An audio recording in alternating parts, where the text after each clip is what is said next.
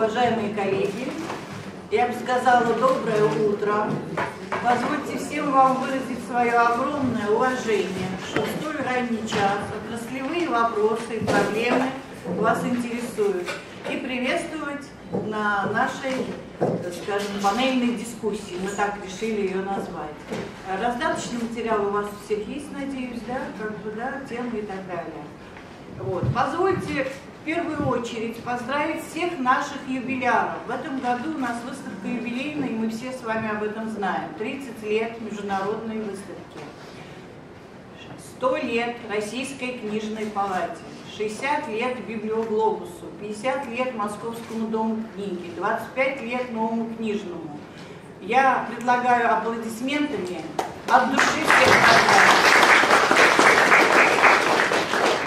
И позвольте передать э, слово для приветствия президенту гильдии книжников Борису Есенькину. Я сейчас как бы э, представляю интересы книжного сообщества. Э, так как, э, ну, прежде всего, хотел бы всех поздравить с самым главным праздником, который есть. Это книга. Я так? У нас книга остается бумажная? Или нет? А почему сомнения у всех? Я тоже так понимаю, где тоже затормозил сам Знаете, мне кажется, все встречи, которые у нас были до этого, они касались всех тех вопросов, которые нас всех волнуют. Но сегодня что я удивился, наверное, пока включаю экран и вижу крах книжного дела и книжной отрасли и так далее. И так далее. То есть сам по себе какая-то зачумленность, но тем не менее у нас все-таки что? Книжная отрасль, книжное дело, книжная индустрия, чувствуете, да, вот этого всего нет. И надеюсь, мы сегодня с вами все-таки разберемся, что все-таки так, где мы находимся вообще, чем мы занимаемся. Мы все занимаемся книгой. А кто мы есть? Отрасль, и что на самом деле есть. То есть вот это законодательно, оно не утверждено. И регламентов, и так далее, и так далее, их практически нет. Или они отсутствуют. Я думаю, сегодняшняя встреча, она как раз почему панельная. Тем, чтобы уже ясно и понятно. Просто мы должны, как книжное сообщество, принять определенные решения, которые, надеюсь, дойдут до самых э, представительных тех, кто принимает определенные решения, именно в плане законодательства. Это Дума, это Совет Федерации, вероятно, да, и разные комитеты, которые как бы что-то ведут, отвечают, но до сих пор каких-то движений, которые должны упорядочить работу именно книжного дела или книжной индустрии, или печатной индустрии. Вот видите, сколько разных названий, которые есть, да, и я думаю, что сегодняшняя встреча, она нам позволит как раз остановиться на чем-то, то, что будет соответствовать данному времени и данному происходящему, то, что происходит и не только в нашей стране, но и непосредственно и в ближайших республиках, в которых тоже такая же история. А, еще раз хотел вас поблагодарить и надеюсь, что вот эта панельная, панельная дискуссия, которая позволит нам с вами действительно по-настоящему выработать ту точку зрения, которая должна быть лечь в основу нашей дальнейшей работы с книгой и с читателем, с покупателем. Огромное спасибо. Позвольте также приветствовать руководителей книжных палат наших союзных государств аплодисментами. Предоставить слово для приветствия генеральному директору Российской книжной палаты Нагиной Елене Борисовне. Добрый день, дорогие коллеги. Очень приятно видеть ваши заинтересованные лица, потому что, мне кажется, информационное взаимодействие в отрасли – это одна из самых, в общем-то, важных и сложных проблем, потому что, создавая единую информационную платформу, мы практически создаем путь к развитию. И очень приятно, сказала сейчас Сюзанна об этом, что у нас сегодня есть не только мы, Россия, но еще есть наши независимые государства, и, э, представители книжных палат, потому что на самом деле, в связи с тем, что у нас очень большая история и очень э, сказать, большие сказать, ну, совместные работы, скажем так, мы интегрированы. Поэтому если мы создаем пространство, то оно должно касаться не только России, но и, соответственно, стран СНГ, и мы на это, об этом еще будем говорить, поэтому очень приятно, что здесь сейчас мы собрались. А действительно, так сказать, вопрос информационного взаимодействия, вопрос единой информационной платформы очень волнует нас всех. Нас волнуют проблемы стандартов, нас волнуют проблемы форматов, потому что вот это как раз все то очень важное, что должно быть, чтобы мы могли с вами вместе говорить об одном и том же. Потому что даже, к сожалению, сегодня, если мы берем какой-то единый разрез, ну, книжной торговли, к примеру, или издатели, или библиотеки, потому что это все книжное сообщество, мы видим, что отсутствие единого формата или там непонимание каких-то стандартов приводит к тому, что мы, в общем-то, не можем взаимодействовать. Даже, так сказать, примеров таких очень много. О печальных примерах не говорим, наоборот, мы создаем единую платформу, и я думаю, что нас вы здесь все поддерживаете, что это надо делать. А Российская книжная палата, свою, ну, я, об этом мы будем говорить во второй части этой конференции, но мы сейчас стараемся все делать, чтобы такую платформу создать, и прежде всего, начиная с вопроса законодательства, потому что вот и Борис Семенович уже об этом сказал, это очень важное законодательство. Ну и кончая, так сказать, технологиями и, э, так сказать, как бы взаимодействием таким уже практическим. Поэтому я очень рада вас здесь всех видеть и надеюсь, что мы так и будем вместе работать и взаимодействовать. Спасибо. Ну что ж, позвольте тогда предоставить слово Гурбаевой Ларисе Федоровне, ведущему специалисту подразделения корпоративное обучение и развитие персонала торгового дома «Библиоглобус». Лариса Федоровна нас ознакомит со всеми нюансами сегодняшней нашей полемики. Ну и самое главное, чтобы мы выработали действительно, как Елена Борисовна сказала, единственное понимание всех наших терминов.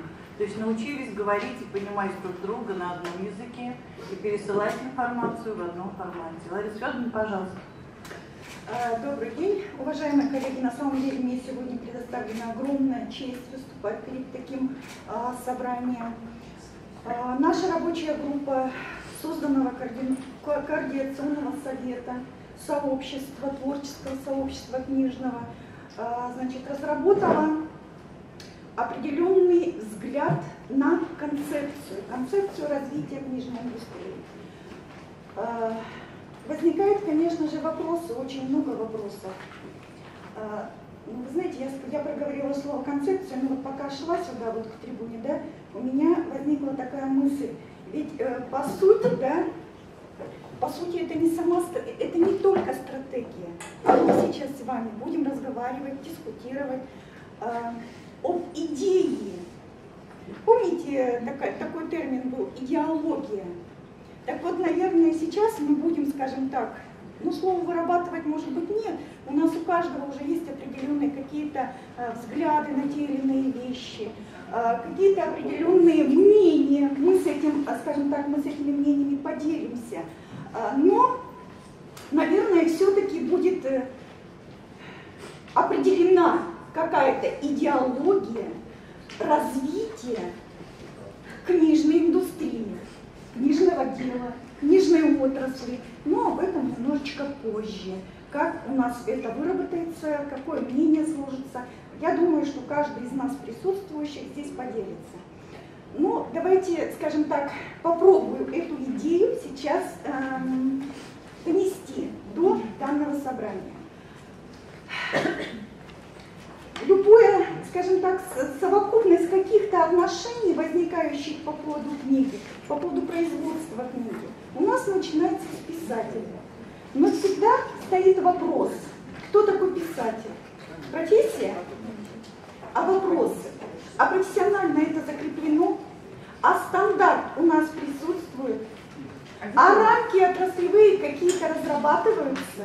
Да, об этом идет разговор ставится об этом эта проблема поднимается, об этом идут, скажем так, э, какие-то рассуждения, дискуссии. Но этот вопрос э, будируется и у нас с вами, в нашем э, значит, в нашем сообществе. И тогда писателя начинается любая совокупность отношений, любая система отношений. И где? В книжном деле Вопрос возникает, где это понятие у нас с вами закреплено? В правовом плане имеется в виду. Законодательно где-то мы прописали э, в рамках, скажем так, устойчивых пониманий э, действий, в рамках каких отношений мы работаем. Нет, в правовом отношении, конечно, понятие это отсутствует. Э, если мы будем говорить, например, о состоянии книжной отрасли. Книжная отрасль ну, я не знаю, может быть, кто-то из присутствующих коллег каким-то образом а, прояснит ситуацию, но наша позиция, что а, понятие не имеет правового утверждения. И тогда наше сообщество пришло к мысли, что а, мы должны предложить определенные или вынести на рассмотрение определенные проблемы, направление этих проблем, в рамках которых должны быть выработан определенный взгляд, чего нам не хватает для того, чтобы книжная индустрия, книжная отрасль, книжное дело, но остановимся все-таки ближе к книжной индустрии к сегодняшнему дню, потому что сама политика развития наших экономических отношений, наш подход, наша стратегия развития, которая была предложена э, Владимиром Владимировичем Путиным, когда мы говорим о том, что мы идем к цифровизации, когда у нас вопрос возникает о том, что мы э, предлагаем определенные 8 направлений, разви 8 э, направлений развития, в том числе одно из направлений есть умный город. Поэтому цифру никто не отменял в нашей ситуации. И в рамках этого на слайде мы предложили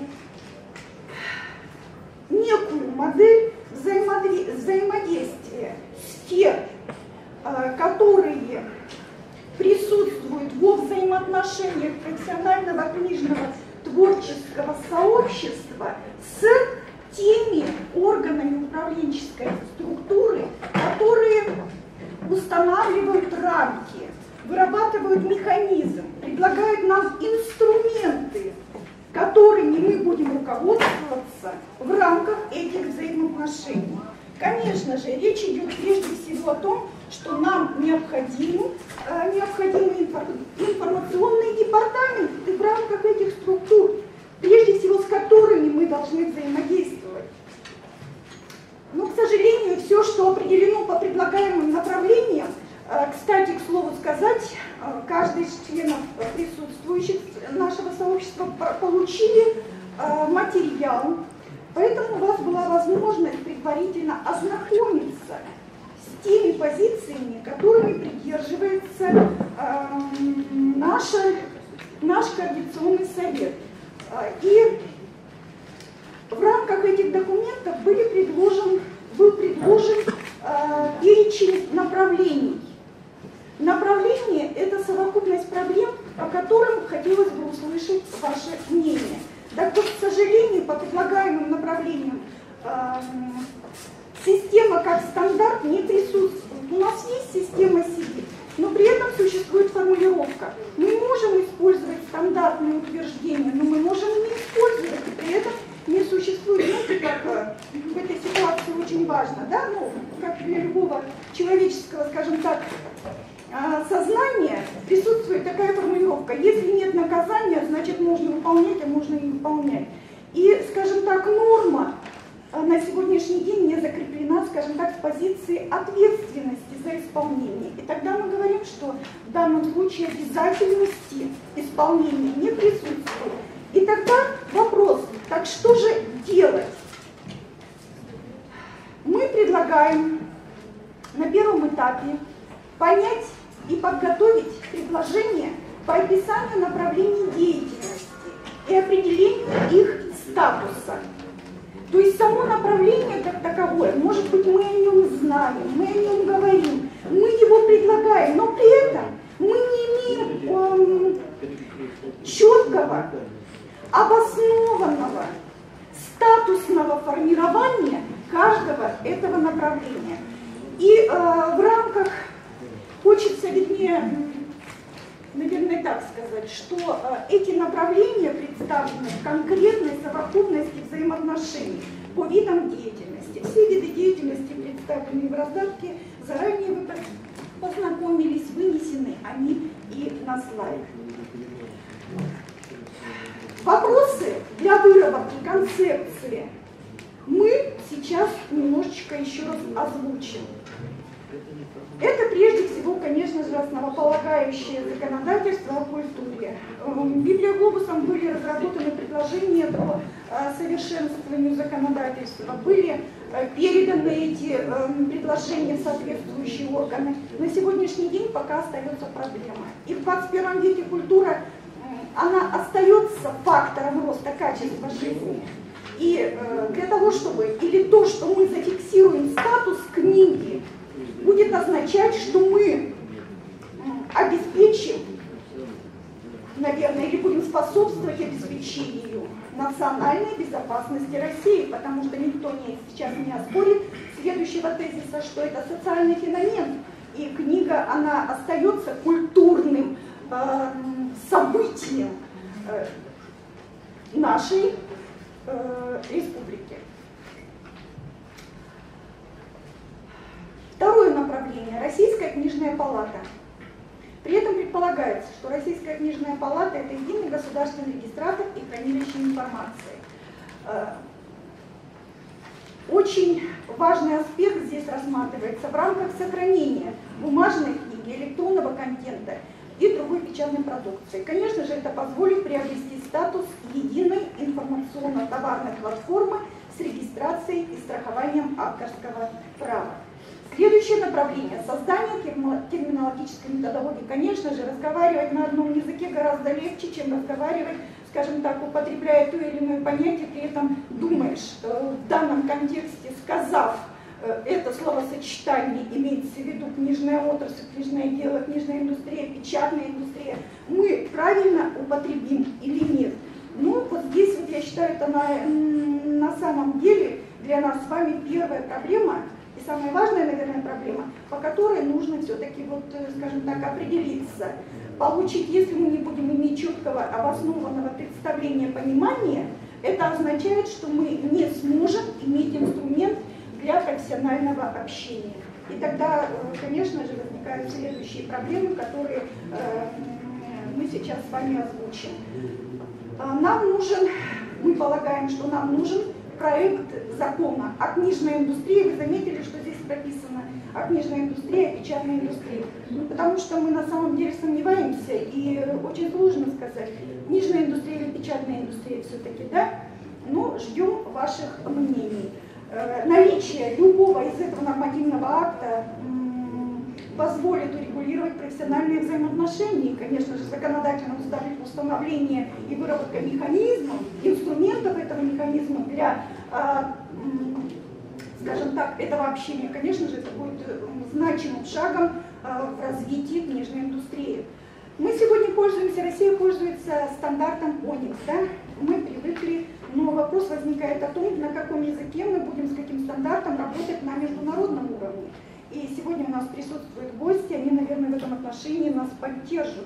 Значит, э, мы считаем, что Руксоникс это, как, это единый национальный стандарт России, и он позволит общаться с нашими э, международными партнерами, нашими э, значит, с другими странами зарубежными. Электронный обмен данными книжной индустрии упростит информационные потоки, соответственно, и э, следующее направление – информационно-товарная платформа. Мы говорили о создании, э, значит, э, мы говорим о создании единой информационной товарной платформы.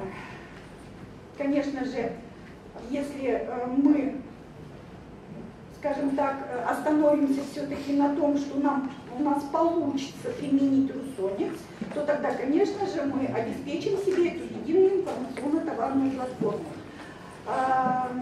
Очень важный вопрос у нас остается регистрация и страхование авторского права в информационном пространстве. Ну, естественно, конечно же, никто не отменял закон, вернее, никто не отменял проблемы, которые касаются вторичного рынка. Но на сегодняшний день нормативная регламентация у нас тоже отсутствует отношение э, на вторичном рынке у нас сегодня тоже не урегулированы каким-то образом, которые бы позволили обеспечить э, я сегодня уже четвертый раз, по-моему, употребляю слово статусность, но по-другому не скажешь. Можно безопасность сказать, безопасность спроса и предложения на антикварном рынке. Это очень важно. Ну и, наверное, заключительным, наверное, направлением, скажем так, которое э, должно обсуждаться, на котором мы должны остановиться, это повышение квалификации. Э, Да, у нас создан корпоративный профессиональный э, кор- корпоративный центр учебный на территории библиоглобуса, но мы на сегодняшний день говорим о том, что у нас нету, у нас нет стандарта профессионального. Я с конца начинаю. Мы не можем ничего, а, скажем так, квалифицировать. Мы не можем а, определить или дать оценку квалификации сотрудника, работника отрасли. Мы сегодня, нам очень сложно говорить обра- о образовательном стандарте, хотя изначально я должна была с него начать, потому что изначально цепочка формируется образовательный стандарт, профессиональный стандарт, и затем уже мы говорим об оценке этих действий. Но э, очень важно понимать, что вот эта вот цепочка а, на сегодняшний день она не урегулирована, у нас нет отраслевых рамок квалификации. Мы работаем пока еще, можно сказать, на голой инициативе от того, что осталось со времен Советского Союза. Но ресурсы черпаются, и, как мы говорим, они имеют место или они имеют определенный предел, скажем так. И тогда возникает вопрос, а что же дальше будет? Что дальше будем делать? Тоже нужно подумать о том, чтобы э, возродить образовательную деятельность в отношении подготовки специалистов э, в рамках бакалавриата, пока бакалавриата, я о магистратуре уже не говорю. А, Ну, а потом уже дальше можно будет говорить о профессиональном стандарте. Вы э, все знаете, потому что вы получили а, значит, предварительный материал, и мы там вас попросили, уважаемые коллеги, проголосовать. Первоначально проголосовать о том, все-таки за какое понятие, на каком языке мы с вами будем говорить. Четыре понятия предполагалось для обсуждения, которых я, э, которые я озвучивала. И в рамках этого анализа, вернее, анализа этого опроса мы получили следующие данные, они у вас в раздатке и на слайде сейчас представлены. И, к слову сказать, это 48,2%, практически половина у нас э, проголосовавших работников отрасли за то, чтобы мы были или мы говорили о взаимоотношениях в книжной индустрии, о формировании этих отношений. Ну, наверное, это правильно. Конечно же, здесь остается вопрос еще печатной индустрии. Ну, я думаю, что к этому еще в рамках сегодняшнего разговора мы вернемся. Таким образом, уважаемые коллеги, я постаралась кратенько это все значит, проговорить. Меня что-то тут заело. Так. Эм, ну, компьютер не наш. Схему, схему, схему последнюю. Сейчас я подойду. С- Значит, я постаралась коротенько озвучить то, что мы имеем э, уже э, значит, э, в сознании, потому что мы с этим уже ознакомились. ознакомились. Мне нравится очень, что у нас сегодня присутствует именно не просто коллеги, да, а профессиональное книжное творческое сообщество. Очень важный момент.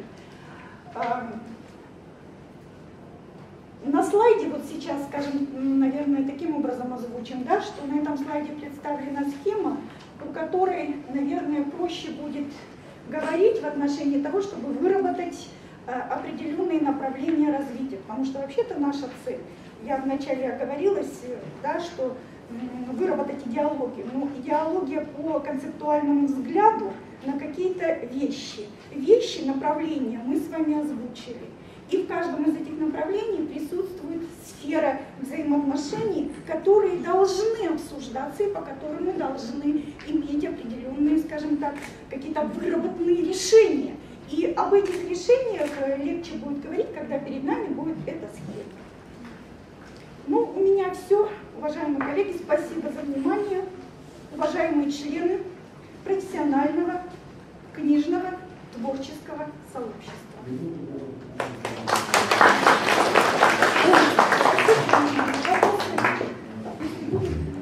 Коллеги, есть вопросы? Борис Семенович, пожалуйста. А, Уважаемые коллеги, вот на протяжении большого количества времени мы постоянно все это обсуждали. Но, к сожалению, никаких решений просто не было принято. Сейчас мы стоим с вами на пороге. Это может так звучит, быть или не быть. Или мы также будем вот двигаться вниз, или мы все-таки действительно по-настоящему общество, книжное сообщество, да, которое будет влиять и которое будет участвовать в принятии определенных решений. А мне кажется, что, вот, к сожалению, не присутствуют и разные общественные организации, хотя всем им было разослано, вот тот, тот весь материал, который сегодня есть, да, и мне хотелось бы здесь с тем, чтобы вот и присутствующие, и приехавшие, да, высказали свою точку зрения, даже не с точки зрения обсуждения, а с точки зрения то, что я говорил. Мы что-то будем предпринимать для того, чтобы сохранить книгу. В самом начале мы сказали «да», бумажная книга должна быть. Теперь ставится вопрос, мы что-то будем принимать, какие-то действия для того, чтобы сохранить для нашего будущего, сохранить вот эту книгу в том формате, в котором она есть, и, разумеется, различные сленги и так далее, и так далее, которые присутствуют, да, и это вот это то, что требуется нам с вами, вот каждой такой секции, принимать какие-то определенные решения, чтобы все это скомпоновать и выставить уже парадигму или, будем говорить, концепцию развития или дальнейшего движения именно книжной индустрии. Ну, это пока так звучит, но в всяком случае мы должны что-то принимать, иначе мы будем топтаться на одном месте, и нас просто затопчут. Тут обратите внимание, авторское право уже у немцев начинает регистрация. Это о чем говорит? Я пойду и буду регистрироваться там свой право. Автор или писатель – это профессия? Вот в Казахстане на, на эту тему уже принципиально принимаются решения, да, я думаю, скажете что-то по этому поводу, да, о том, что да, автор – это профессия, организовано действительно солидное уже общество, которое четко, ясно и понимает, да, это есть то-то, то-то, то-то. Так что, мне кажется, мы с вами в застойном состоянии находимся, и надеюсь, что вот это книжное дело, которое здесь сегодня есть, или книжная ярмарка, и вот сегодня такая встреча, она позволит нам все-таки действительно по-настоящему, именно книжным сообществом, принимать определенные решения с тем, чтобы могли это лоббировать. Спасибо за внимание. Есть вопрос, пожалуйста? Нет, не вопрос. Я хотел бы продолжить тему. Слышно меня, да? Моя фамилия Ускин, я председатель правления Ассоциации распространителей печатной продукции. Я полностью поддерживаю коллегу. Что хотел добавить? От нас, как коллеги, мало что зависит. Дело, конечно, упирается в решение Вот спасибо властей. Это единственная ассоциация, которая, ну, я сказал, вот, ну, по- постоянно уже выстраиваются контакты, пока другие ассоциации пока как бы к этому не прислушиваются. Это очень-очень важно. Спасибо огромное. Да, так вот я хотел бы сказать, дорогие друзья, что наша задача общая сегодня просто спасти книгу. Есть большая похоронная команда в этой стране, которая хоронит э, печатное слово. Хоронит, причем, э, ведь не, они не во имя идеи хоронят, а во имя финансовых потоков. Борьба за финансовые потоки идет. И наша задача переломить общественное мнение, что не надо хоронить печатное слово. Ни книги, ни газеты, ни журналы. А надо в этом плане повернуться лицом к нашей индустрии, э, к тому, чтобы эта индустрия, это еще духовное богатство страны, это культура, это образование, это, если хотите, информационная безопасность страны. И когда власть делает такие серьезные ошибки, Европа поддерживает книгу и печатное слово, у нас печат... поддерживают все хуже и хуже. Сокращаются ассигнования, уничтожаются книжные магазины, ликвидируется система продвижения печатного слова. Уже книжных магазинов в стране осталось сейчас меньше, чем было в царской России. Минфин нам пишет письма, говорит, что да ничего, ничего это не нужно никому, все это неэффективно, помогать индустрии не надо, а, в общем-то, все это вчерашний век. Вот э, это не просто заблуждение, понимаете? Это работа большой группы, это похоронная команда, которая уничтожает печатное слово в стране и говорит, все, это вчерашний век, это неправда. Это просто преступление делать подобное заявление. И поэтому нам наша задача сплотиться, сплотиться все, кто причастен к слову, к его созданию, к его продвижению, к его продаже, сплотиться и спасать всю нашу индустрию. Поэтому вот наша ассоциация выступает за это. Спасибо. Спасибо большое. Коллеги, кто-то еще хочет высказаться? У нас было небольшое онлайн-голосование, да, вот Лариса Федоровна об этом сказала. Я бы хотела предоставить слово Елене Борисовне, чтобы она как бы провела небольшую дискуссию среди руководителей книжных палат союзных государств, потому что они тоже приняли участие в дискуссии вот именно по терминологии, книжная индустрия, книжное дело и так далее. Пожалуйста, Елена Борисовна. Да, действительно, хочется услышать мнение наших партнеров, наших близких, друзей хороших. Как вы относитесь, вот, во-первых, и по голосованию, и вообще по сегодняшней теме? С кого начинаем? Жанат Турарович, с вас? Или с Николая Ивановича? Да. Позволите, да? А, да, да, да, конечно. Ну, тут мы... Это, э, э, Добрый день, уважаемые друзья, коллеги, дамы и господа. Для нас очень большая честь и э, ответственность сегодня присутствовать на этом актуально. Актуально не только для России, но, я думаю, для всего постсоветского пространства. Э, те вопросы, которые сегодня э, подняты, э, мы, если позволите, мы э, взгляд из Казахстана будет, расскажут о том, что у нас делается, и э, а некоторые вопросы, которые сегодня, сегодня будут озвучены, есть наши, так сказать, казахстанские. Но прежде чем кто делал участие в моем выступлении, я вас тоже хотел поздравить. Э, этот год очень знаменательный. Знаменательный для всего книжного сообщества, для всей, э, в большом смысле, для всех книги, не только российской, но и всего после пространства, столетие российской книжной палаты. Наша книжная палата Казахстана являлась э, частью этого огромного сообщества. Вы знаете, ее в 1995 году мы получили независимость, и она стала как национальной. Ну а мы все корни с Российской книжной палаты. Поэтому, Елена Борисовна, мы вас официально 12 часов поздравим да. с столетием. А сегодня хотелось бы э, тоже нам очень приятно сегодня присутствовать на этом мероприятии, которое организуется в Глобус. И, уважаемый Борис Иванович, вот это мы я все зачитывать не буду, вот эту папку 60-летием торгового дома Библия Глобус. И разрешите мне от имени э, книжного сообщества Казахстана вручить вам приветственный адрес. Ну, Спасибо.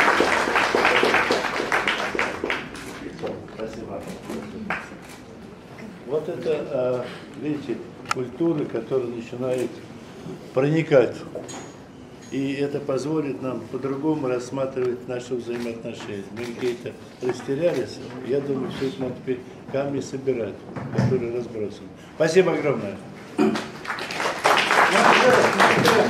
А конкретно теме, которая сегодня я бы сказал, что это актуально и для Казахстана, и для только для Казахстана. Но я, когда что-то долго времени занимать, я более конкретно приступлю к тезисам. Первое. Мы абсолютно согласны с тем понятием, как книжная индустрия. Потому что э, книжное дело, с нашей точки зрения, это более технологический, термин, который технологический процесс, а книжная индустрия это более создание некого информационного пространства для развития всей отрасли, как отрасли. Здесь, когда Э, там не только технологическая цепочка, которая у нас есть, автор, там, э, полиграфия, издатель, полиграфист, распространитель и читатель. Но э, книжная индустрия, э, с нашей точки зрения, захватывает иные отрасли, мы уже говорили, работа с средством массовой информации, подготовка кадров, э, обучение, сертификация и так далее. С этой точки зрения наш голос была, здесь схема, и там вот если более 48% опрошенных, это, там тоже есть наш голос. Мы с этим вопросом абсолютно согласны. Теперь касательно э, того вопроса, который мы сегодня обсуждаем. С нашей точки зрения вот, э, существует две, два вопроса мы хотели разделить. Это вопрос технический, когда Елена Борисовна говорила о форматах, которые существуют э, обмена информацией, и э, нормативно-правовое пространство. Одно без другого не идет. Но э, я хотел сказать, что вот как мы в Казахстане делаем. Э, прежде всего, к чему-то приступить, мы определяем идеологию и концепцию этого процесса. Что мы хотим? Первое. Второе э, консолидация профессионального сообщества. Вот сегодня э, господин выступал, это очень важно. Важно, что если профессиональное сообщество будет консолидировано, то тогда власть будет прислушиваться. Если профессиональное сообщество не будет консолидировано, с этих то, естественно, из натуральной точки зрения, то, естественно, власть к этому будет менее прислушиваться. С этой точки зрения нам бы хотелось, чтобы э, э, в рамках таких мероприятий, которые сегодня происходят, были эти вопросы обсуждены и пришли к определенному точке зрения, с которой можно было дальше двигаться. И начинать, с нашей точки зрения, вероятно, нужно создать нормативно-правовое пространство. И у вас, и у нас этот вопрос очень дискутируется, что это будет. Мы считаем, что необходимо принять специальные законы, и это можно сделать таким образом, что у нас, вы знаете, есть различные уровни сотрудничества между нашими странами. Это Евразийское экономическое сообщество, это ШОС, Шанхайская организация сотрудничества и БРИКС. И можно вот в рамках э, Евразийского экономического сообщества, где три государства, Белоруссия, скажем, Россия, Казахстан, и есть такие структуры у нас, вы знаете, МП, Межпарламентская ассамблея, и есть хорошая такая практика принятия модельного закона. Если бы казахстанская, э, российская сторона взяла бы на себя, э, скажем, обсудив это все и согласовав с национальными государствами концепцию вот этого закона, как он будет называться, о книжном деле, книжной индустрии, э, взяла этот концепт, и, это, и национальные государства мы готовы были поддержать, чтобы это был как модельный закон, который уже был рекомендован и обязательно для национальных государств. И где все это было прописано без э, создания нормативно-правовой базы, а создав нормативно-правовую базу, закон, поднимая подзаконные акты, э, отрасль не будет развиваться, с нашей точки зрения. Э, есть второй вопрос, технический вопрос, который мы сегодня Елена Борисовна и другие выступающие, это вопрос формата, это разноформатность. Эта проблема существует у нас тоже в Казахстане, то есть, проще говоря, на сегодняшний день у нас я Э, ранее возглавлял книжную палату, сейчас э, полтора года возглавляю национальную библиотеку, и мы столкнулись с тем, что у нас 11 453 библиотеки, и каждая библиотека имеет э, э, свой формат. Кто-то в радиусе, кто-то ависе, кто-то и все работают. И мы перед правительством поставили вопрос об объединении библиотеки информационных ресурсов в единую интегрированную систему. Разработали этот веб-правис, прикладную программу, э, получили на него соответствующее авторское свидетельство, запатентовали, и вот сейчас мы при поддержке правительства внедряем во все библиотеки, что дает возможность, э, возможность всем э, читателям Казахстана иметь доступ. И все эти фонды у нас будут объединены. Сельской библиотеки, кончая национальной библиотеки.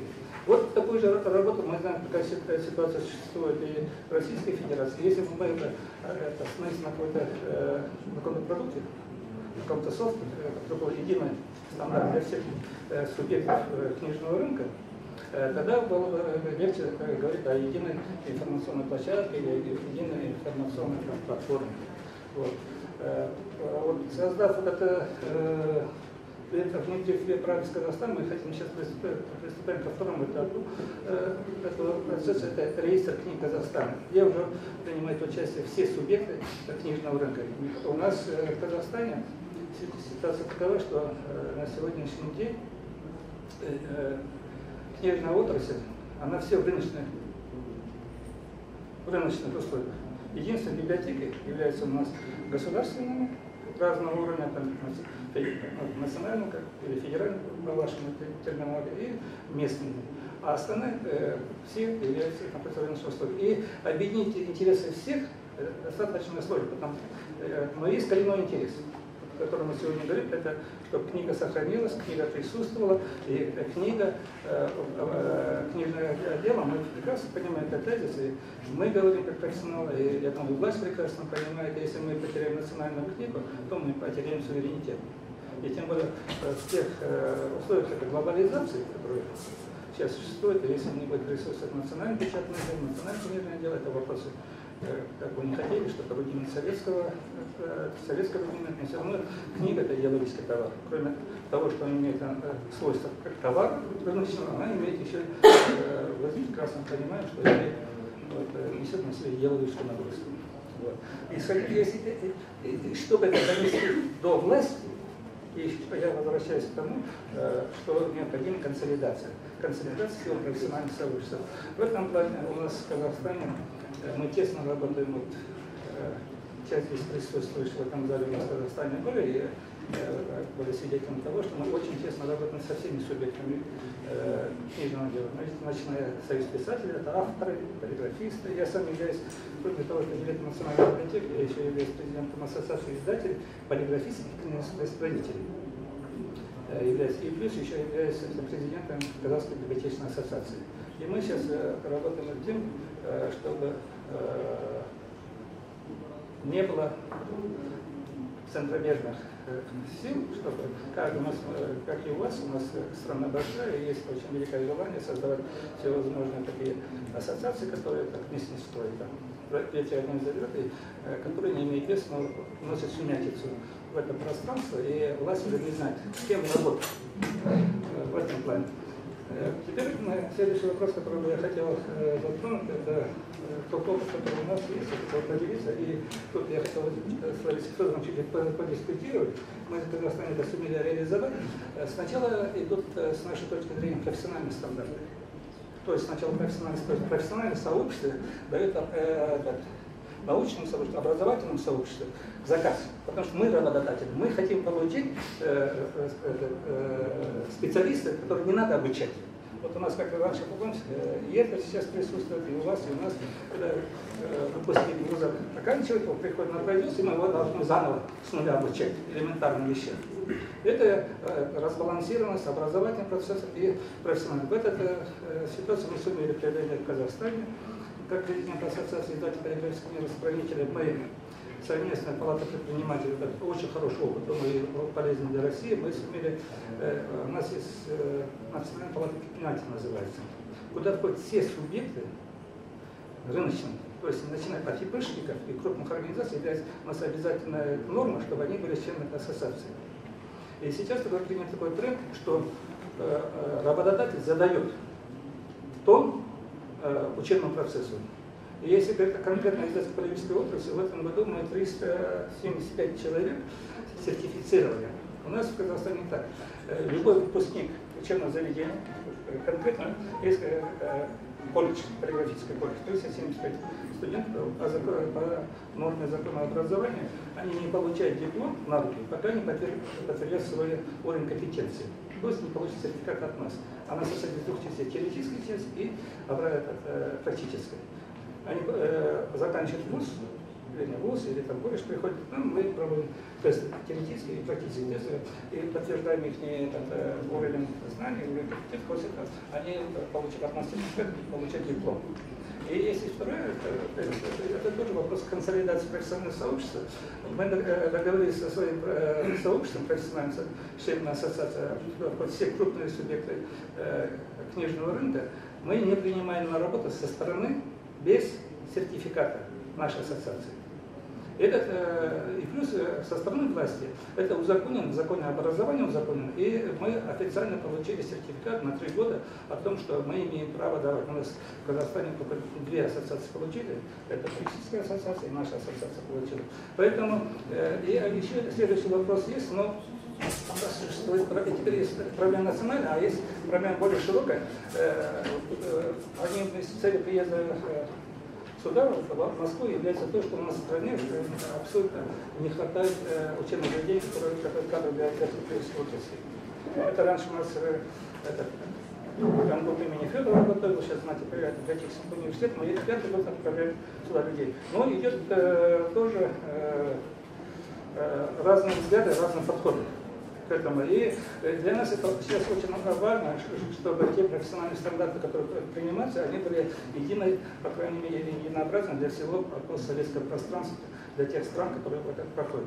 И те же э, дипломы, которые получают, они могли бы, э, были бы признавать в наших, странах.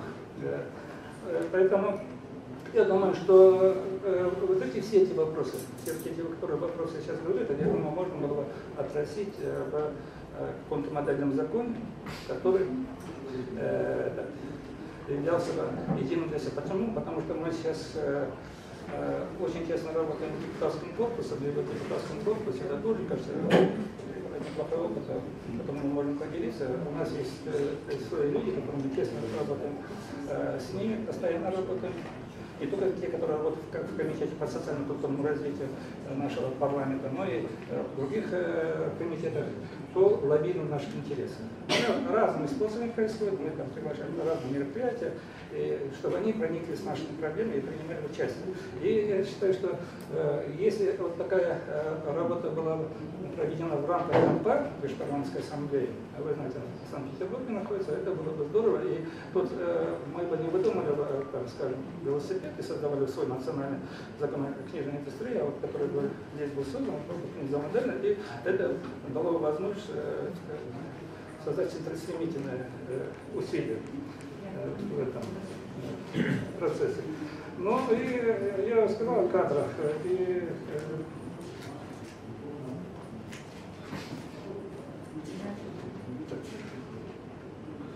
Вот вкратце, в принципе, я то, э, хотел бы э, э, сказал то, что сказал. Если есть ко мне вопросы, пожалуйста, я готов послушать. Жан Антонович, во-первых, спасибо вам огромное. Чувствуем заинтересованность большую, да, и вы вот в онлайн-голосовании. Я, это, да. я вот одну важную вещь. Да, пожалуйста. Как обычно, что-то хочешь сказать и забываешь. Я бы еще хотел, есть еще два тезиса, которые я хотел сказать. Первый, один из тезисов здесь прозвучало, да, я сам до 10 лет возглавил Национальную книжную палату Казахстана, прекрасно понимаю, но, э, Елена Борисовна, вы знаете, как я вас очень люблю и уважаю, но дело в том, что э, опираться на как национальную информационную платформу Российской книжной палаты, я думаю, здесь нужно будет все еще раз внимательно изучить и посмотреть, потому что, вы знаете, идет мировой тренд, на сегодняшней книжной палаты, к сожалению, во многих странах мира практически они не существуют, и если последние, вы знаете, ситуация, которая сейчас в Российской книжной палате была ситуация, потом Армянская книжная палата, сейчас она не является самостоятельной самостоятельной структуры, структуры она ушла от Национальной библиотеки, также в Узбекистане. Такой тренд и у нас в Казахстане наблюдается, и поэтому э, предложение мы звучит таким образом. Мы на эту тему говорили. Э, вот есть закон, закон, и есть очень, блок, очень э, в этом э, э очень большой блок вопросов, который мы сейчас почему-то, когда книжное дело говорим, мы, мы упустили, это очень большой блок вопросов, это периодические издания, это научные издания. Э, вот, э, вы знаете, вот, э, Борис Семенович, Яна Борисовна, уже мы который год работаем с международными центрами, и вот почему-то все вот эти международные стандарты да, в области ИСО, информационно-медийной области, почему-то на Западе. Почему мы должны на них оглядываться? Потому где-то в Лондоне, Женеве, Сюрих, там, правда. Есть наше предложение. Суть которого состоит в чем? Мы эту тему уже обсуждали я со своими коллегами, руководителем библиотеки Российской Федерации, и Э, другие страны себе, почему мы не можем создать свой собственный так по налогу ISTC? Я знаю, ФИБР здесь получил на него эксклюзивное право, но ISTC не работает. То есть огромный класс э, информации печатное издание, которое имеет и рыночную стоимость, это рыночный потенциал, это э, э монографии, не монографии, статьи научных журналах, потом в сборниках, они выпадают из этого пространства. И это можно было систематизировать, и мы могли бы дать э, так, пример э, того, что будет иметь собственное э, независимое информационное пространство, потому что, знаешь, я, что понятно, коллега я объяснил, есть, попроще да, я объясню. Вот выходит э, конференция или круглый стол, появляется сборник материалов. Он идентифицируется одним только, ISBN. Но внутри находится порядка 50 или 30 или 40 авторов. Также те, вот это потенциально, мы на эту тему разговаривали с, э, с Лозовской руководителем, со всеми директорами разговаривали. У нас проблема, э, знаете, э, по научному сопровождению науки, что у нас мы перешли на PhD, а Россия еще как аспирантура и докторантура.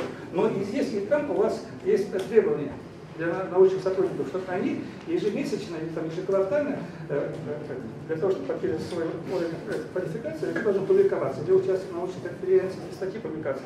И на сегодняшний день это вот, абсолютно этот сегмент не отрегулирован.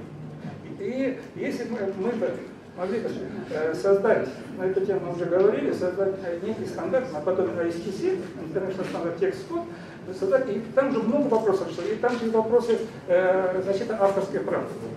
То есть э, холнотекста. Сейчас китайцы, там с ним китайцы тесно работают, они уже разработали. Они уже начали работать. Они полный текст, даже 500 страниц сбивают. Сейчас технически, возможно, нет проблем. Айтишников, да, скажешь, айтишников за один-два дня сделал. И это тоже, если было бы здорово создать в рамках э, вот этого нашего пространства, и мы э, э, во-первых, несколько вопросов э, крупных решили по сохранению, э, типа, э, пусть их, потом их э, этот, индекс цитируемости, как и у вас, у нас есть, мы почему-то все Томсы, Скопсы там бегали. Это все мы могли бы сделать в рамках э, СНГ и в рамках э, ШОС. Вот такие вот те, те вопросы, которые волнуют Казахстан, и те вопросы, которыми мы сегодня мы занимаемся, и я думаю, что э, они идентичны и, э, как и в Российской Федерации, и, и, последнее, то, что я хотел сказать, еще раз повторить, что все эти процессы было бы здорово э, делать согласованно и, и создать э, некую, некую рабочую группу, которая могла собираться, периодически обмениваться вот, э, да, э, вот этим э, точкам, уже более детально обсуждать эти проблемы и идти выработать общую такую концепцию. И тогда нам легче было бы работать и своими национальными правительствами. И мы, знаете, как в своем отечестве пророка нет. Обычно, если со стороны кто-то приходит, мы все радуемся. Мы это смогли создать в рамках СНГ и в рамках ШОС, и потом уже внедрить э, национальное государство. Спасибо вам большое. Спасибо вам огромное. И вы проголосовали за книжную индустрию, правильно? Все, коллеги, значит, Казахстан за книжную индустрию. Да. Ну, тогда продолжаем разговаривать с нашими партнерами. Елена Витальевна, может быть, вы расскажете про ситуацию в Беларуси. Это директор Белорусской книжной палаты, тоже наш очень большой друг, партнер, мы активно работаем вместе. Вот надо услышать ее слово. Добрый день, уважаемые коллеги. Ну, во-первых, хочу присоединиться еще раз к поздравлениям наших уважаемых коллег и наших дорогих друзей. Российская книжная палата, магазин Библиоклубус. Мы вас поздравляем, желаем вам всяческих успехов и нам всем совместных успехов в продвижении вот тех идей, которые сегодня будут звучать и будут звучать. Спасибо. Я хотела сказать? Ну, первое, это по поводу стандартов СИПИ. Э, да, к сожалению, они для нас не являются законом, но, несмотря на это, хотела бы сказать несколько слов в поддержку этих стандартов, потому что на самом деле на сегодняшний день это стандарты СИБИТ, это единственный механизм, который нам позволяет вот, профессионально понимать друг друга. Добровольно, недобровольно, это уже вторично. Вот у нас в Беларуси в рамках закона об издательском деле мы пытались придать обязательность этим стандартам. То есть носили предложение сослаться, что издатели, которые проходят госрегистрацию как издатели, обязаны, но, к сожалению, наш белстандарт сказал, извините, это основной принцип стандартизации, добровольной, государственной стандартизации, добровольности их применения. То есть никак не прошло это у нас. Но, тем не менее, на сегодняшний день в Беларуси издатели регистрируются, проходят госрегистрацию по заявительному принципу, и, в принципе, они соглашаются с тем, что они обязаны применять эти стандарты, и они их, в общем-то, применяют. Хотя все чаще звучат голоса, вот они где-то прочитали, что да, вот они добровольны, вот. то есть каких-то такие моменты. Вот.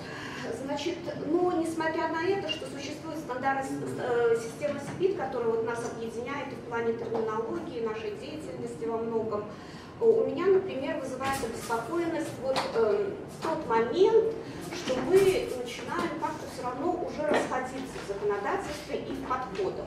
Вот в качестве примерно, э, вот мы сейчас поднимаем вопрос книжной индустрии, печатной индустрии и так далее. Значит, в Беларуси принят закон об издательском деле, и э, издатели, изготовители, то есть полиграфисты, книгораспространители это субъекты издательского дела. То есть у нас существует понятие издательское дело. Вот таким вот образом. Потом, э, значит, опять уже, вот сейчас мы говорим книжная индустрия, печатная индустрия, издательского дела я там не увидела вот, предлагаемых этих вариантов. Что там есть всякое? Ну, Там нет, первый, вот э, первый, первый. конечная, где печа... какие мы термины предлагаем? Печатная индустрия, книжная индустрия и, Книжное дело. и книжное дело. Вот. Да. Книжная отрасль. И книжная отрасль, да. Я Мы же проголосовали за книжную индустрию. Ну, да, да. Я просто говорю объективные факты, то, что существует в Беларуси. У нас это издательское дело. Вот, но наш закон распространяется только на печатные издания, только на печатные. Этот вопрос был дискуссионный, он не раз рассматривался в парламенте, потому что поднимались голоса, что обязательно нужно распространить на... Существует э, электронные издания, хотя, конечно, эти были голоса тех, кто бы не понимает вот этих вот всех сложностей. Например, вот для книжных палат учета и сохранения вот этих вот электронных изданий. Или опять же, что такое электронная книга? Есть вот существует, имеет право быть такой термин, не имеет права быть такой. И что мы понимаем, понимаем под этим термином? То есть, в конце концов, мы пришли к выводу, что электронный контент, вот, который многие не любят этот, этот термин, вот, э, в том числе и я, по отношению к книге. Я больше за традиционную книгу, потому что э, вот мне кажется, что в этом понятии электронный контент, книга, она как-то книга, и слово в целом они обесцениваются. Вот какой-то там контент. То есть я могу понять еще, если мы берем какой-то гаджет, там, букридер, читаем, да, ну хорошо, книга. Но если это уходит в сеть, вот здесь уже появляется и некая медиа, там, индустрия, информационная индустрия и прочее, и книга, и слово, они как-то вот в этом плане обесцениваются. Но это мое субъективное мнение, может другой по-другому. Значит, дальше по поводу а, формата. Формата ONIX это, конечно, замечательная идея создать формат RUSMARC, потому что ONIX, ONIX, да, RUSMARC, говорю, Росоникс, да.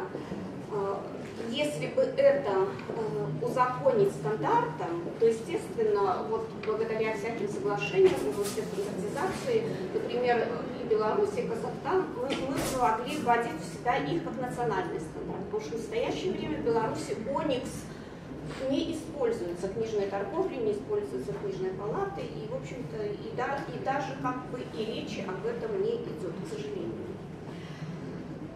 Что еще хотела сказать? Хотела сказать в поддержку э, того, что говорил Жанат Дуравович по поводу создания модельного законодательства. Вот, ну, мы знаем, что был модельный закон об издательском деле. Э, И, в принципе, это была неплохая практика. Модельный закон об издательском де- деле, модельный закон об обязательном экземпляре. Может быть, вот, э, действительно рассмотреть вот эту возможность создания некого модельного, ну, может, это не в рамках СНГ, вот здесь надо подумать, модельного некого законодательства о книжной индустрии. Да, это, конечно, гораздо шире, чем наш закон об издательском деле. Ну, в принципе, я эту идею поддерживаю. Так, по поводу, э, значит, писателей, что я хотела сказать, да, э, что, ну, это просто интересный факт, когда подняли этот вопрос, я вспомнила об этом, что у нас в Беларуси, ну, наверное, все слышали, что у нас существует такой закон о социальном иждивенчестве, ну, или попросту э, о тунеядстве, то есть тот, кто у нас не работал в течение года, он обязан платить социальный налог. Вот. И, ну, конечно, народ недоволен этим законом, он пересматривался уже у нас один раз. И вот когда его пересматривали, вот подняли свой голос писатели, то всех э, членов Союза писателей признали их деятельность не творческой, а профессиональной и освободили от, от уплаты этого налога. Изначально То есть вот такие интересные факты. Так, ну вот, в принципе, все, что я хотела прокомментировать.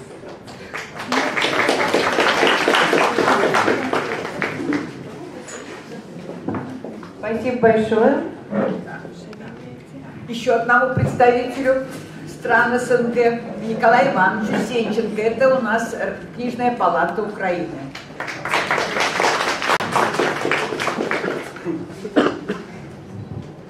Дорогие коллеги, Я, во-первых, хочу всех поздравить юбиляру с юбилеем. И мне очень приятно, что они не почивают на лаврах, а начали дискуссию на такую важную проблему, о которой сегодня идет речь. Я не отношусь ни к правым, ни к левым. Я ученый, и для меня дружба с Российской Федерацией и с другими странами, с которыми мы были всегда дружны, является прежде всего. И,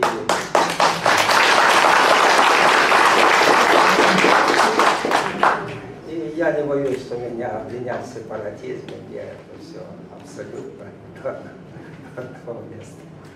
Это первое. Второе. Вот э, мы почему-то в последнее время, когда развалился Советский Союз, стали очень сильно обезьяничать.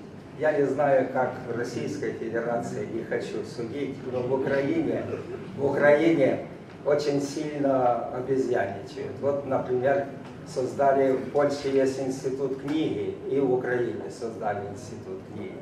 Теперь звонят мне, Николай Иванович, а что будет делать институт книги? Я говорю, ну вы создавали, вы дали деньги, а теперь вы спрашиваете, что будет делать институт книги. То есть они абсолютно не понимают, создали, аж зачем этот институт книги? Абсолютно не нужен. Хотели ликвидировать книжную палату, но нас не так просто ликвидировать, поэтому мы аргумент был очень сильный, сильный аргумент. Вот в России есть книга. Я говорю, а вы знаете, что Российскую книжную палату в начале ее создания директором был Богдан Боднарский, который был с Украины. Это, то есть я хочу сказать, что украинская интеллигенция или интеллигенция Украины была инициатором создания книжной палаты. А так как вы, западной Украины, стараетесь ликвидировать то, что ваши же интеллигентные люди создавали, подбил я охоту, перестали и так далее. И теперь этот, у нас есть очень большой опыт работы с Европейским Союзом. Этот опыт, опять же, я не могу удержаться от смеха. Понимаете, почему это? Да, надо менять стандарты. Когда посчитали, что даже, ну так по предварительным оценкам этих стандартов надо около двух тысяч менять, ну то есть во всех областях. Какие деньги нужны на эту день? Денег таких нет. Европейский Союз не дает этих денег, умолкли. Больше нет. Несмотря на то, что объявили, что мы в ассоциации с Европейским Союзом, мы очень четко пользуемся теми стандартами, которые были разработаны еще в Советском Союзе и потом разрабатывались. Эти стандарты работают у нас, и, конечно же, мы будем продолжать их продвигать и в дальнейшем. Хотя с каждым годом становится все сложнее и сложнее. Теперь, вот я сам член Союза, Союза писателей Украины, я очень много пишу книг, у меня очень много книг, и для меня это очень важный вопрос. Узаконить вот э, то, чтобы писатель был действительно, что это, это действительно, что это профессия или не профессия. Член Союза писателей раньше пользовался какими-то льготами, сегодня он ничем не пользуется в Украине. То есть у нас есть э, Союз писателей, есть у них помещение, но абсолютно никаких ни льгот, ни преимуществ и так далее, и так далее для писателей нет. Поэтому эти вопросы, вот, которые были затронуты, я их поддерживаю и, конечно же, мы тоже будем думать над этими вопросами и давать свои предложения, если вы возьмете их к нам и не будете писать нас и другие.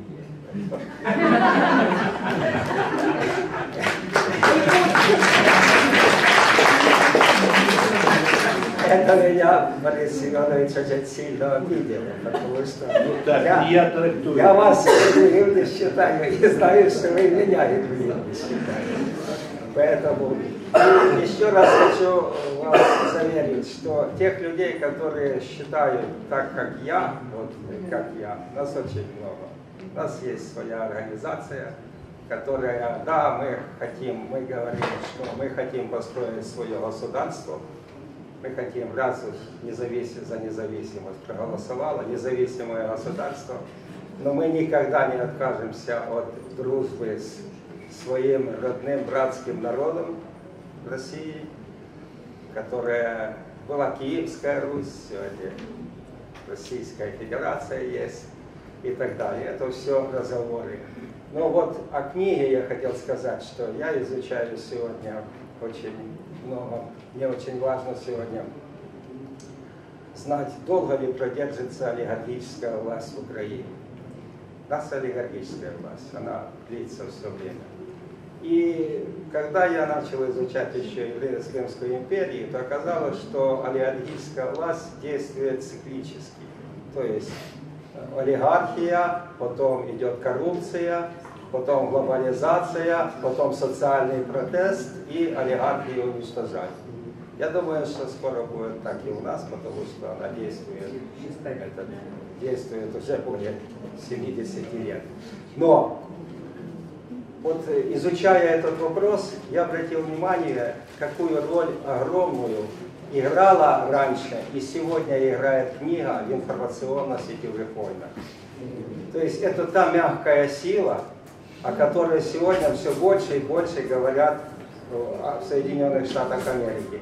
В Америке сегодня финансирует ЦРУ книги определенного направления, которые бы доказывали, что их демократия, она является ну, самой правильной демократией. И это очень важно сегодня понять, что книга – это мягкая сила, и ее надо использовать постоянно, постоянной работе. И показывать нашим правителям, ну я имею в виду украинцам, и мы им показываем, что книжное дело должно находиться на очень хорошем уровне и должно финансироваться государством. И у нас есть такое финансирование под названием «Украинская книга». Но оно, к сожалению, сегодня направлено в несколько другую сторону. Спасибо за то, что вы Спасибо,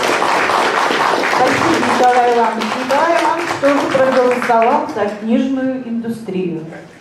Таким образом, у нас формируется межгосударственный общественный творческий союз специалистов книжной индустрии. Вот давайте не будем голосовать, а может быть небольшой блиц. Индустрия, отрасль, дело или печатная индустрия. Марина, оперативно вот так вот, просто интересно, для того, чтобы мы уже научились как-то употреблять и уже выходить с предложением, да? Мариш, пожалуйста, подходите, пожалуйста. Книжная индустрия. Да, Марина. Книжная индустрия. Книжная индустрия. Книжная индустрия. Так, сейчас приду. Да, согласна с прощением. Мы уже голосовали. Микрофона.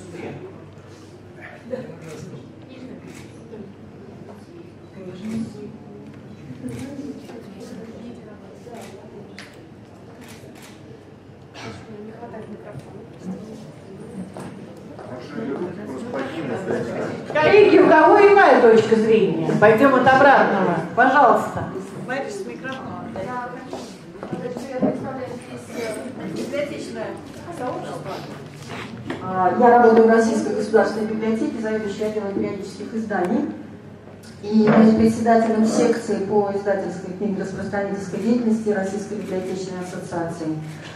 А, значит, очень интересная тема, которую вы здесь обсуждаете, и я даже э, хотела сказать, что с Борисом Семеновичем мы где-то там в кулуарах вот э, тоже это, этот вопрос обсуждали.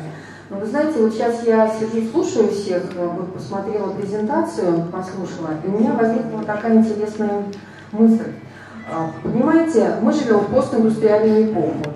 И называть, э, называть к- э, значит, наше дело вот индустрией, мне кажется, сейчас не очень как бы будет всем понятно. Да?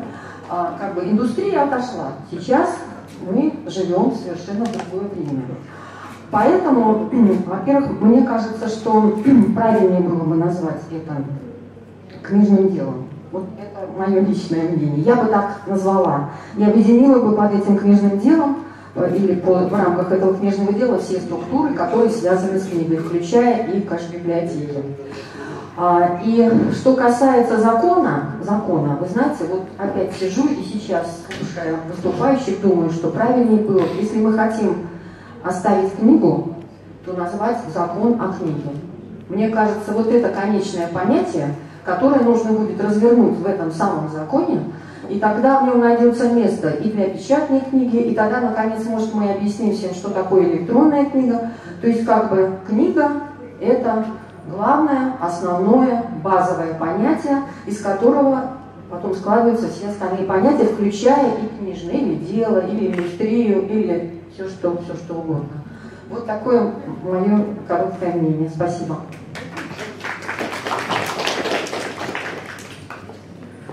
Ну, давай с вами Что такое 21 век? Это индустрия. Посмотрите, мы живем с вами, ну, в общем-то, особенно молодежь, да, мы с вами переживаем сейчас действительно по-настоящему индустриализацию, только цифровую. Это на самом деле так. Мы еще никак не можем туда войти. Кто, никто не отрицает, что книга есть, что книжное дело есть.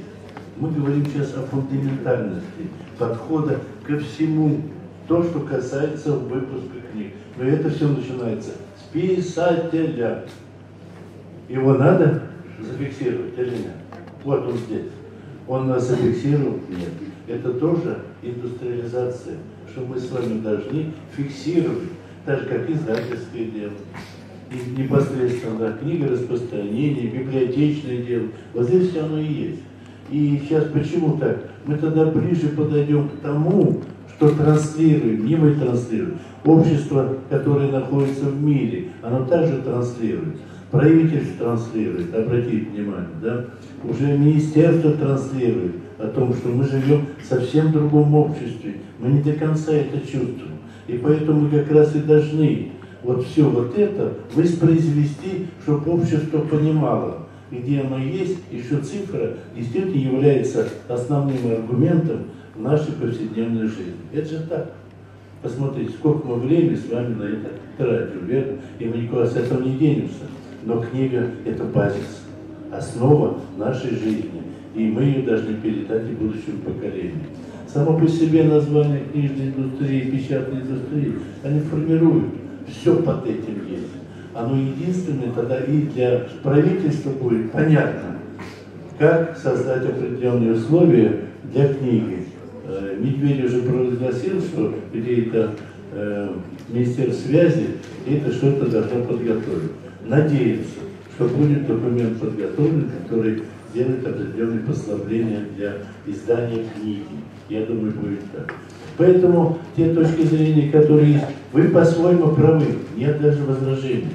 Но мы говорим в общем сам по себе, да, о том, что происходит и как сейчас выстраивать вот это содружество, чувствую, содружество, да, с тем, чтобы, чтобы не были попугаями.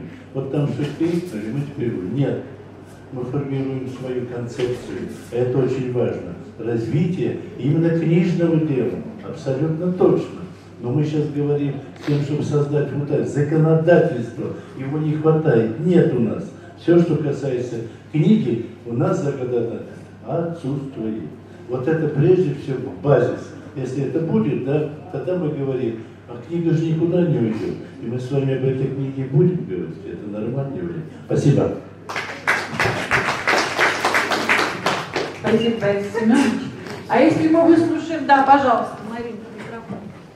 Вы можете поближе, да, подойти, а то что туда.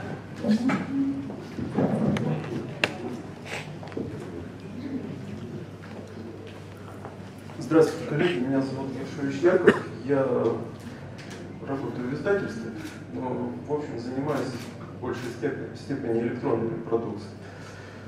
И вот здесь в самом начале говорилось о том, что нужно закрепить понятие, ну, понятие терминологии. У нас сейчас, к сожалению, вот в последнее время, э, даже если вы будете смотреть ну, поскольку я занимаюсь словарями, там, энциклопедиями, я это все наблюдаю и как бы вот сейчас нагорело и захотел высказаться в этом вопросе. У нас, когда смотришь телевизор или читаешь книги, все понятия подменены. То есть вы читаете одно и понимаете под этим словом совсем другое. А журналисты в это время понимают совсем друг, другое, третье, четвертое. Там. Вы вообще понимаете, где, не понимаете, где вы находитесь и о чем идет речь. Вот сейчас то же самое. Мы все говорим о книжной индустриализации. А вы сами определите, что такое книга. Книга это не более того, что это тип печатной продукции. И не более того. А говорить надо о произведении. А если мы говорим слово писатель, писатель это кто? Что он пишет? А тогда что такое автор? Да? Вот, вот эти все понятия. Вот здесь я вам Потом отвечу. электронная Определиться книга. мы должны все вместе. Да. То есть это наша общая книга. проблема, да? Да, электронная книга. Что такое электронная книга? Электронный прибор – это носитель. Это то же самое, что книга. Это понятие однозначное. Электрон – это, это девайс. А книга – это носитель печатной продукции, произведения. Есть слово «произведение». Вот. Это текст, а носит его кто? Электронный носитель. А там это произведение. Почему мы там его называем книга, когда книга это, ну вот он, книга. Путаете понятия. Нет, Нет, это раз лишний раз вы путаете. подчеркивает о том, что нужен единый отраслевой глоссарий. Он как раз не да, нужно прийти к единой Потому что- точке зрения и научиться действительно понимать всем одинаково одну и ту же терминологию. Да, писатель Вы, наверное, написал- хотите записаться в секцию, вот здесь вот на экране Я хочу сказать, что писатель написал произведение некое. Как он его будет публиковать? В виде книги или в виде там в электронном виде? Это уже второй вопрос. Ну, Это разные вещи. Но это разные вещи, но на двух разных носителях. Правильно? Мы хотим сохранить книгу как вид носителя. Вот, да. А? Нет, ну, как бума- как ки- книга как бумажный носитель. И никто не говорит, на протяжении веков эти носители менялись, да, никакой же из них не исчез. И будут за еще исключением- меняться. Там э, к- это самое, глиняные таблички, может, да, исчезли. Но тем не менее, они просто преобразились э, там, в газеты, в журналы. Вот. предлагаете? Ну, именно в терминологии. Вот чтобы четко понимали люди, именно термины, произведения, авторы, писатели, переводчики, все это должно четко быть определено. Ну, мы и хотим, и поэтому мы и собрались для того, чтобы Э, темой- Бо- Борис Семенович, я, я думаю, что, видимо, тут удобнее сделать таким образом. Э, Дело в том, что вы затронули ну, даже не термин названия, а э, вообще проблему э, те- терминов, да, и поэтому, собственно говоря, вы, э, я бы предложил как бы вам поучаствовать как раз в, есть предложение по формированию глоссария, Э, И как раз, э, ну, вы правы, да, там огромная как- масса терминов не закреплена. Та же самая книга, у нас нет юридического термина. И, ну, немножко отвечая на ваш вопрос по поводу названия, ну, мы-то подразумевали, да, под книгой, как бы, если уж совсем обобщать, да, то в перспективе единицу знаний. То есть как бы книгу использовали просто как исторический, э, красивый исторический термин, э, ну, в который э, просто единица знаний, ну, во-первых, два слова, да, как бы, во-вторых, э, ну, неудобно, просто зачем придумывать, ну, вводить новый термин, когда есть старый хороший термин. И э, под, под книгой подразумевал и произведение, и в перспективе, если человек хочет э, в интернете просто вывесить там э, э, да, И это тоже будет книгой. То есть вот это имелось в виду. Это э, не то, что там прям вот совсем вот как я говорю, да, это просто вот, просто исторически как бы откуда ну, про- про- про- взялся термин. Э, Что касается вот книжного дела, да, как бы тут естественно, что э, библиотеки, учебные заведения, они, там, э, вот, э, они себя не очень уютно чувствуют в термине э, индустрия. Э, э, вот совершенно естественная реакция, да, поэтому, собственно говоря, мы и обсуждаем. Э, Ну, книжное дело тоже название, название хорошее. У меня вот такого чуть э, э, такого четкого, э, я всегда использую, как бы, да, там, Борис Иванович знает, да, я всегда как бы использую, как бы, ну, как бы предлагал использовать даже ра- равноправными. Э, Что касается вот им- именно индустрии, Я вот просто расскажу немножко про другой аспект, да, как бы, про который э,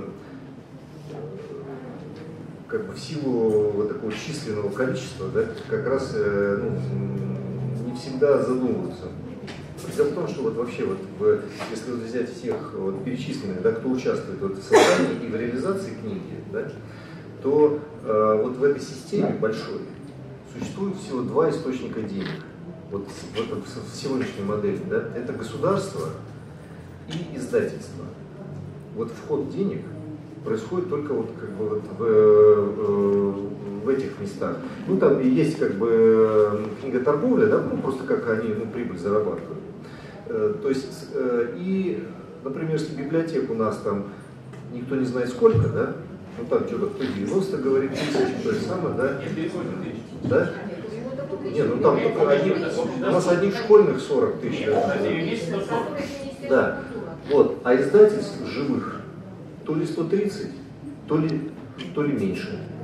Вот, да? И э, с, э, вот, э, название книжная индустрия, да, она вот отражает немножко смещение представлений, да, просто от э, концепции советской, когда по большому счету все финансировало государство, да, и там ну, не было просто альтернативы, то у нас вот сейчас э, вроде бы только она зародилась, да, вот скажем так, появился новый источник денег, который гораздо более перспективный, потому что он э, источников много, так как он коммерческий, да, и гораздо э, живее интеллектуальная жизнь, потому что ты не зависишь от одного заказчика, да, и э, у тебя есть возможность пойти к другим издателям, которые могут рискнуть, и эта система вообще она более живая, более перспективная, ну и более правильная. И, и мировая практика показывает, что так э, жить правильнее, да, как бы интеллект развивается лучше.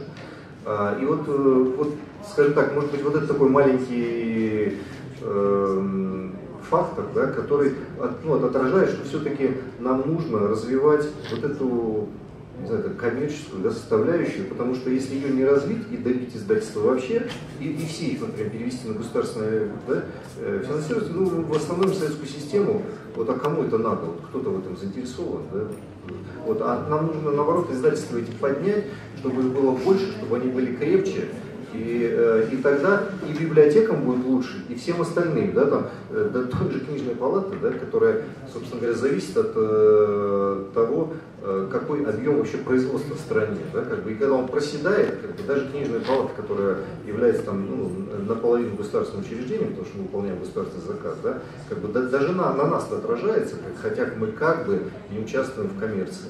Вот. Ну вот я как бы пояснил немножко другую часть, да.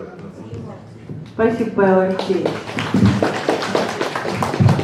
Но мы с вами приходим к одному единственному мнению, что нас объединяет любовь к книге. И мы обеспокоены тем, что, к сожалению, отрасль, либо книжное дело, либо книжная индустрия на сегодняшний момент находится не на достаточно развитом уровне, что необходима действительно стандартизация, необходим глоссарий, Необходимо правильное обучение и подготовка профессионалов на книжном рынке. И вот здесь мне очень понравился опыт коллег из Казахстана, да, то есть это бизнес, это книжная торговля, и не только диктует те требования и критерии, которые нужны для подготовки профессионалов.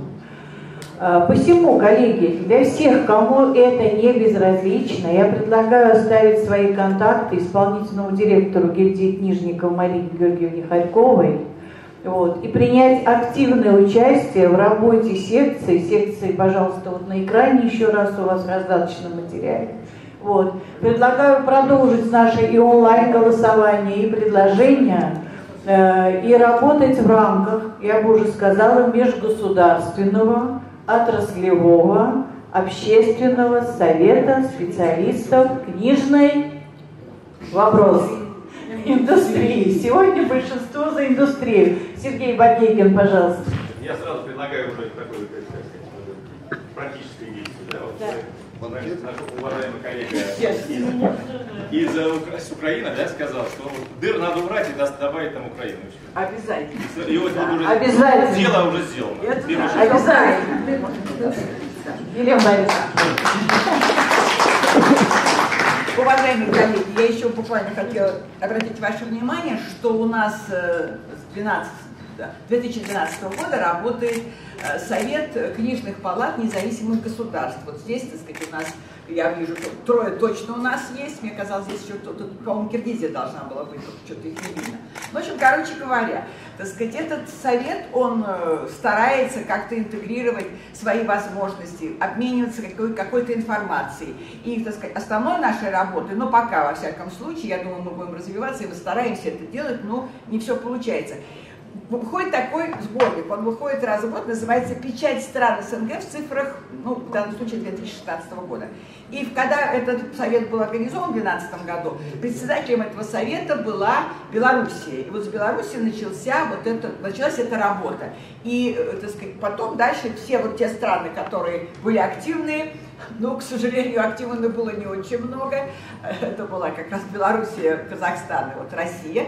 Вот, ну, очень жалко, что не было Украины, так сказать, на то были причины. Короче говоря, мы, так сказать, выпускаем. Вот уже это пятый сборник. В этом году как раз директорствует мы, председательствуем, поэтому мы выпускали этот сборник.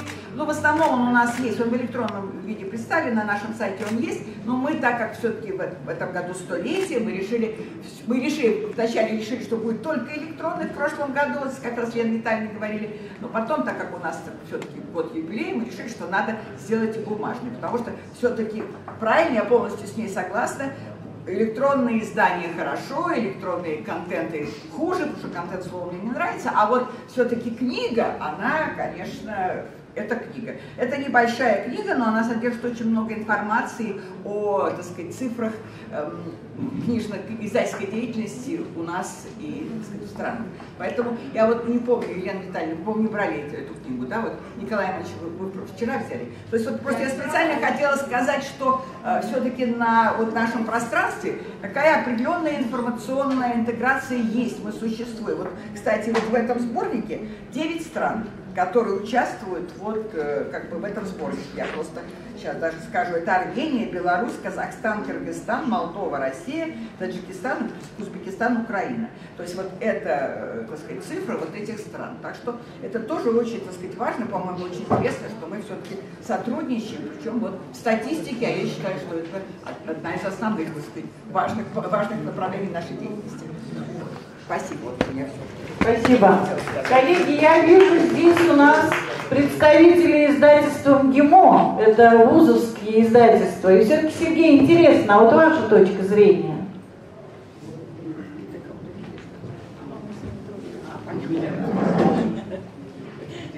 Я считаю, что, наверное, тоже книжная индустрия, скорее всего. А вот понятие книги, я думаю, что книга это в первую очередь, очередь, наверное, получение информации. А вот эта информация как используется? Либо она используется в образовательных или в культурных целях. Э, Именно то, что книга это получение информации. Я все. Спасибо. Может быть, с правовой точки зрения мы бы выслушали Ромашова Владимира Николаевича, как точка зрения со стороны юридической сферы.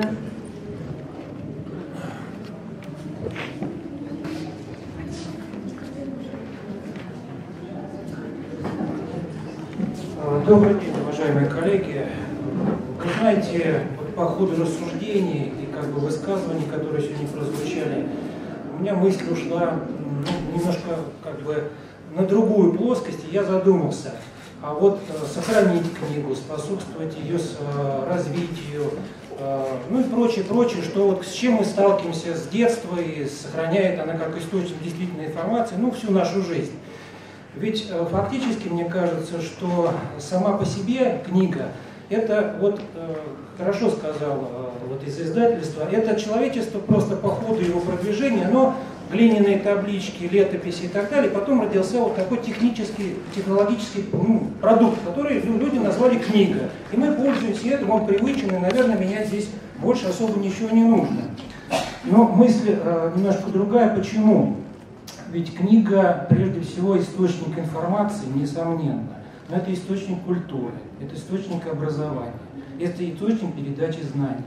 и для того, чтобы она была, как человечество передавало знания на протяжении всего и так далее. Сказы, былины, рассказы, да, их передавали устно.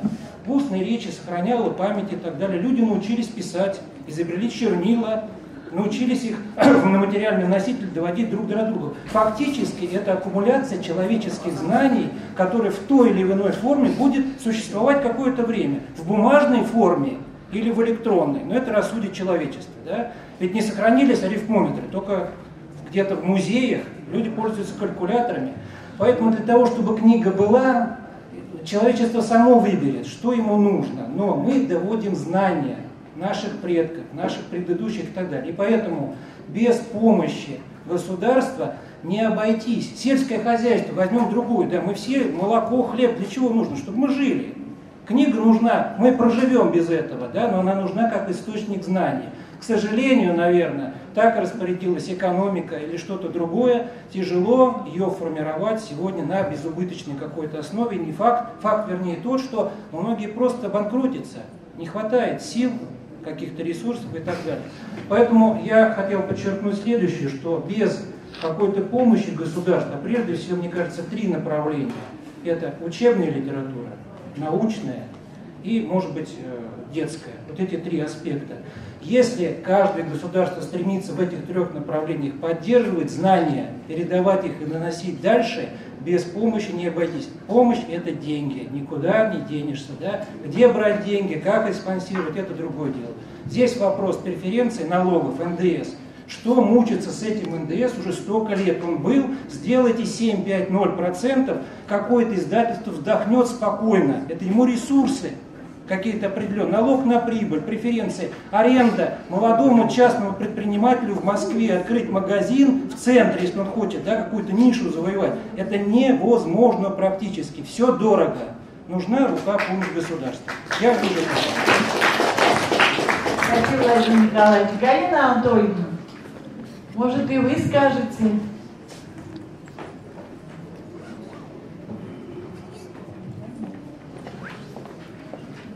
Добрый день, Павлова Галина Анатольевна, адвокатская консультация Павлова и партнеры. Мы давние члены гильдии книжников, дружим с Библиоглобусом, всегда участвуем в этих мероприятиях. Вот. А, но вот мы свое мнение написали, что все-таки мы полагаем, что, скорее всего, это книжная индустрия, на наш взгляд, потому что слово индустрия, оно охватывает э, в том числе вот реализацию книги. То есть вот для нас, как для друзей Библиоглобуса, ближе именно реализация книги. Вот. Ну, а что касается, так скажем, проблем, которые вот вы затронули э, по поводу э, создания вот единого глоссария, там, создания, э, подготовку проектов законов, это ну, великое дело, и я подчеркнула бы как раз именно миссию э, вот, гильдии книжников и Бориса Семеновича, Э, именно в том, чтобы как культурное достояние книгу сохранить и продолжить ее. Поэтому я думаю, что э, действительно здесь без э, государственной поддержки, ну, вряд ли мы обойдемся, а государственная поддержка только через закон, разумеется. И какие-то основные темы, которые государство должно поддерживать, это образовательную тему, как минимум, да, это ну, точно э, нужно обращаться к государству. Соответственно, не с протянутой рукой, а уже на основании закона. Спасибо. Спасибо большое. Вы с нами, да, в работе над секцией? Спасибо. Уважаемые коллеги, у вас в раздаточном материале, помимо программы нашей встречи, небольшие сувениры от торгового дома «Библиоглобус». Вот мы с вами говорим о книге, да, и о самом важном – умении сохранить весь тот культурный пласт, который оставили просветители, я бы так не побоялась громких слов, земли русской. Это уникальные открытки с нашими просветителями. Прошу обратить внимание. Также это уникальная марка, гашение которой произошло э, в честь 50-летия торгового дома «Библиоглобус» на государственном уровне Почта России – а, и помимо этого, второе гашение на Женевском книжном салоне 2007 год «Россия почетный гость». И в церемонии гашения приняли тогда Сеславецкий Михаил Владимирович и экс-президент Швейцарии. То есть это тоже очень приятно, я думаю, памятно. И вам всем, тем, кто любит книгу и знания, думаю, это все будет нужно и пригодится. Также к 60-летию мы выпустили новые значки. Специалист, книжный, Борис Семенович, книжный индустрии. Я думаю, они вам тоже будут приятны и памятные. Но и вчера Владимир Викторович, а и юбилейный номер журнала Библиодайджеста, я думаю, здесь тоже что-то интересное, теплое вы для себя найдете. Вчера Владимир Викторович на премии «Ревизор», а, позавчера, Поздравляю всех юбиляров, книжную палату, Московский дом книги, Библиоглобус, Читай город. Пожелал всем юбилярам дожить до возраста книжной палаты, и все те, кто поздравляют, чтобы тоже были живы. Мне кажется, пожелание очень хорошее. Мы любим книгу, будем созидать. И главное, толерантность, которую будем проявлять по отношению друг к другу. И еще раз, нас объединяет любовь к книге. И позвольте эту часть нашей встречи, нашу панельную дискуссию считать завершенной, но она не завершается. Записывайтесь Марине Георгиевне, будем вместе творить, созидать и продолжать интернет-голосование. Спасибо всем за внимание. Сказать, что в принципе сейчас в этом же помещении мы будем продолжать.